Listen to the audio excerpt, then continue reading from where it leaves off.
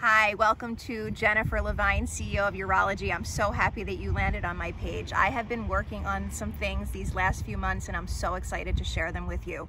I've been a PA in the field of urological oncology, cancer of the genitourinary tract for 15 years. I've worked at some of the top cancer institutions like Memorial Sloan Kettering Cancer Center and Cedars-Sinai in LA. And what I know for sure for taking care of men with prostate cancer after surgery can be trying.